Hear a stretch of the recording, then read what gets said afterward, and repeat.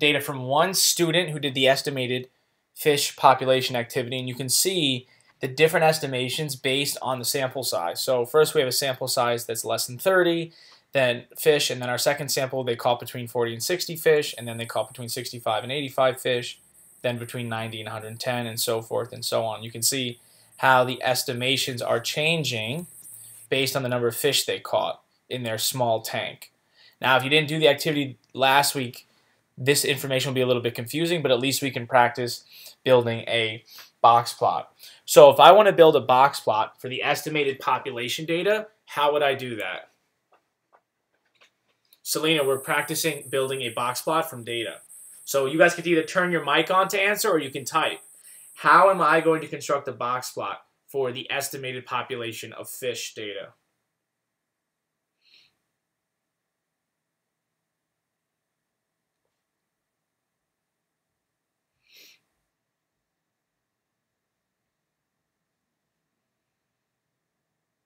Find mean, median. Okay. Do Theodore, let's ask the class, do we need to find the mean in order to construct a box plot? Do we need the mean? Okay. No, so before we can find the median, lower quartile, upper quartile, minimum, maximum, what do we need to do?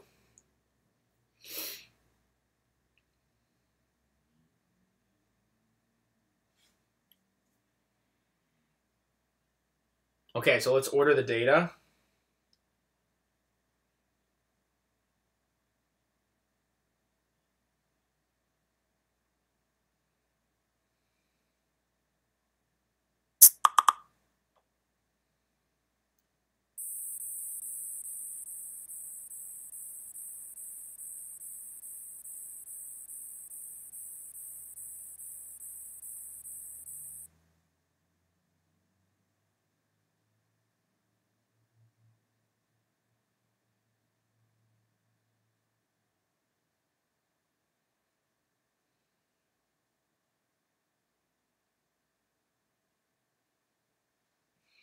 Okay, we ordered our data. Now what?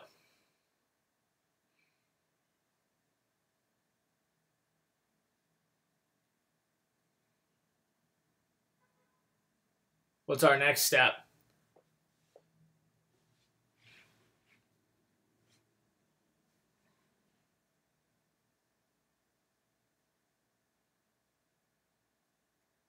Find the median. Okay, so we're looking to find the median. Now I'm hearing that some students are, are saying we have to do something with both of these numbers, uh, 275 and 283.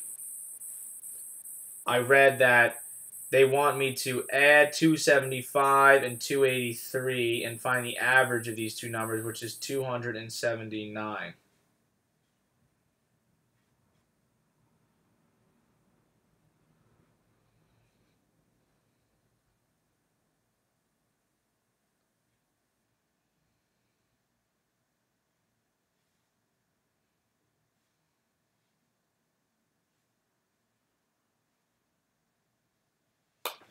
So now we have our median.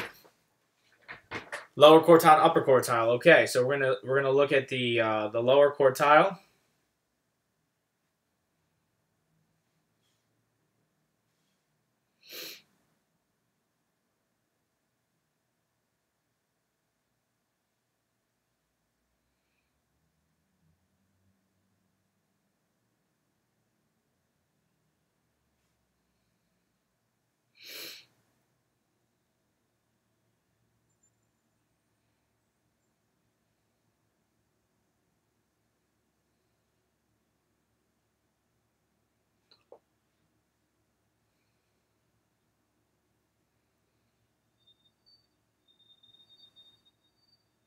So, what is the value of the lower quartile?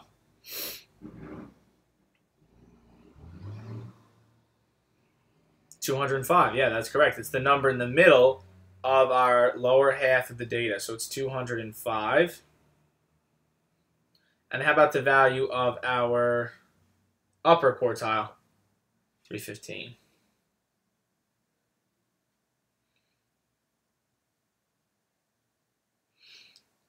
Is this all the information we need to make a box plot?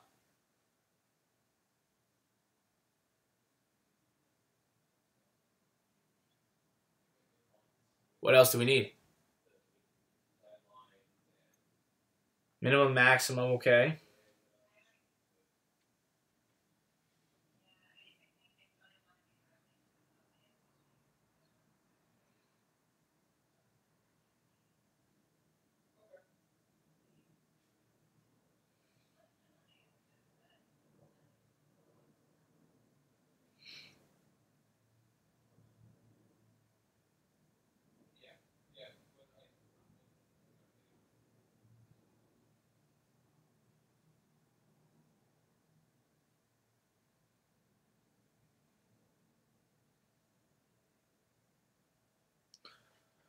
Okay. How are we going to choose a scale for our number line, for our box plot?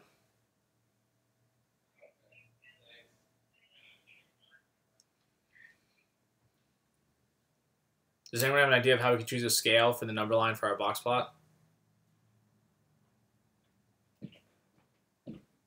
Again, you can turn your mic on to talk. That'd be fantastic as well.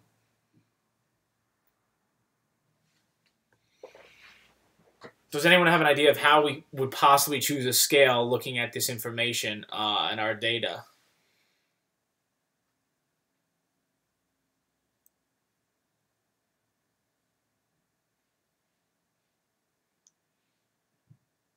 Just go from 100 to 200? Is that going to capture everything if we just go from 100 to 200? So what's the lowest that we need to go? What's our minimum? 185. So maybe we start out at like 180. And now we have to think about our scale. So 180, yeah, Jem, you're right. 180 to 5 to 575. So do you guys think we should count by fives? Why not count by fives? Why would that not be okay or not a good idea to count by fives? Too many numbers in between. Yeah, take too long. So what should we count by? 20, 25, 20s, 25, 100. Now, should we count by 100? Well, why not count by something as large as 100? Too inaccurate. Why do I only see boys typing in and no girls' names popping up?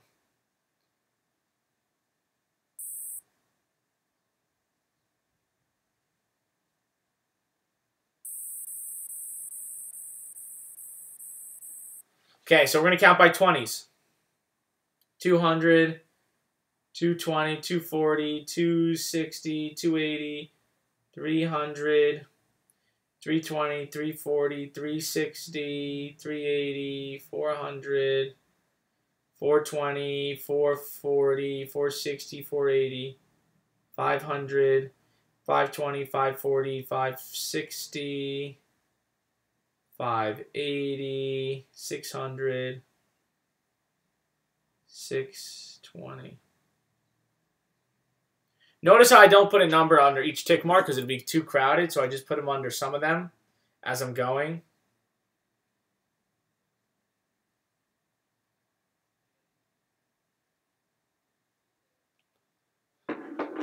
And then we can start to plot our data. So we'll put our minimum down, which is 185. Our lower quartile is 205.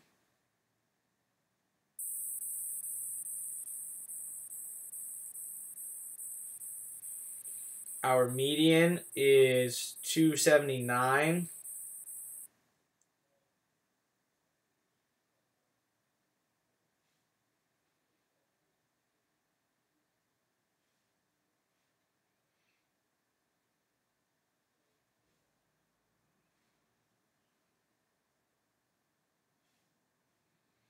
It's always a good habit to write down your values so that you don't have to think about them if they don't line up perfectly with your number line. It makes it easier for analysis later.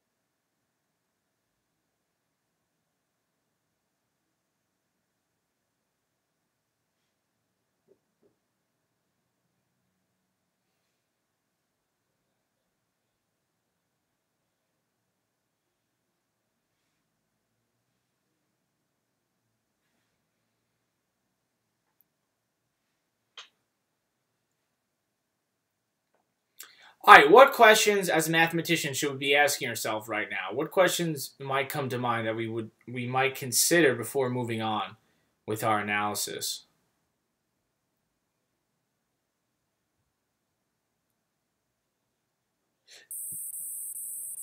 I want you guys to come up with some questions. What questions might a mathematician ask right now after constructing this box plot? What questions might a mathematician ask after constructing this box plot?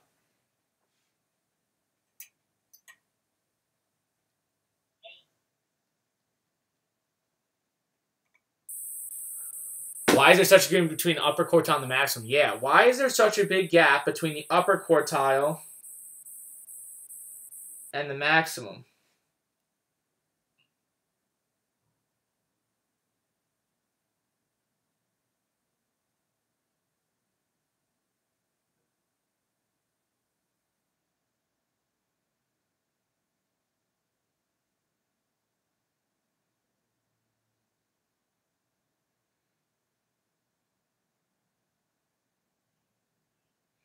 Does anyone anyone have an idea of why that might have happened? Why the 575 is so much further away from the rest of our data? Like it's so spread out there.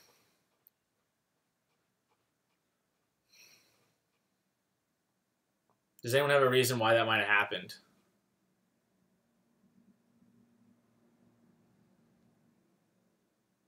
Data super varied from the least accurate data. Can someone else besides Theodore add on to what he means by 575 is the least accurate data. So I want someone else besides Theodore to try to add on to what he means by the 575 being the least accurate data.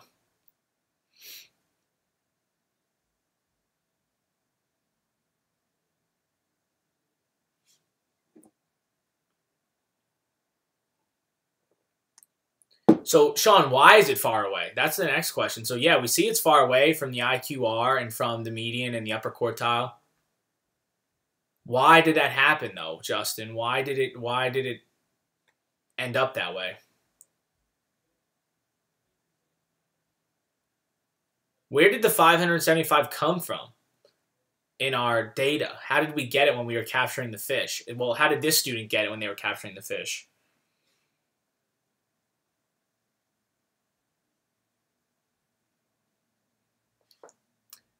Their sample size was less than 30. Yeah, look, if we, our 575 came from a sample size that was less than 30. Why is it important to note that, that it came from a sample size that was less than 30?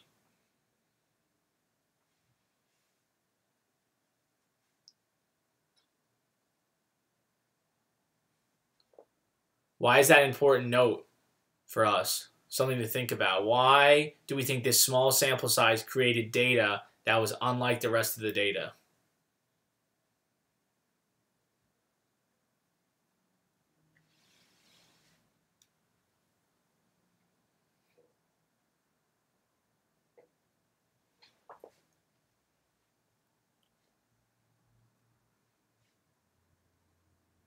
Do we have any ideas why we think this small sample size of less than 30 fish created the weirdest data.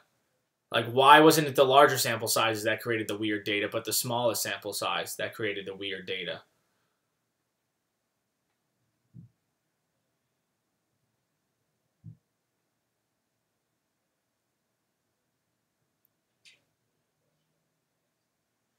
I am waiting for some response or someone to ask a clarifying question.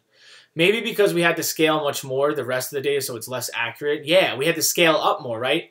We took a really small sample, so we're relying on our ratio a lot more than we choose a large sample. That's a good point. Anyone add on another idea? That was a really good idea. That's absolutely true.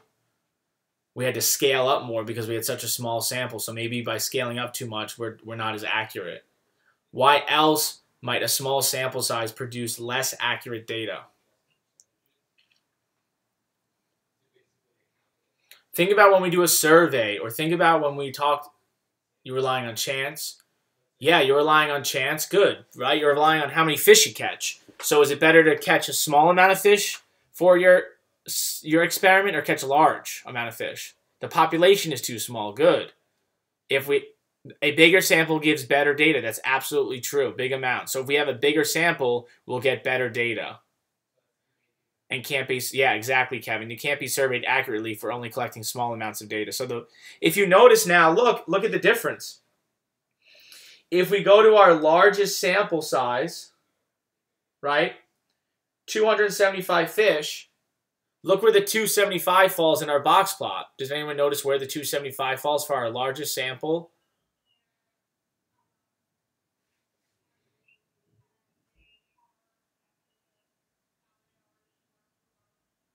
Very, yeah, exactly, Kevin. Very close to the median. So our large samples are giving us more accurate data or better estimations, and our small sample is giving us less accurate estimations. Something for us to think about as we do our own experiment later. Do we have any other questions before we kind of move on and you guys get to your own work in your Google Doc? So what you're going to be doing today is you're going to take a you're going to do this on a piece of paper with your own data. Your own data. If you did not collect data, you can use one, one of the three sample students I posted. Then you will do a short write-up of your final estimation for the number of fish. You might also want to calculate the average. The average could be helpful for figuring out your final estimation. So the average for this data is 306 and a third fish. So that might also be helpful if we're coming up with our final estimation for the number of fish in the pond. Um, so again, you're going to do this work on a piece of paper. You're going to take a picture of it, upload it to that document of Google Classroom, and then you're going to do a small write-up where you tell me what your final estimation is for the number of fish based on all of your analysis, as well as one of the other questions I posted about sample size.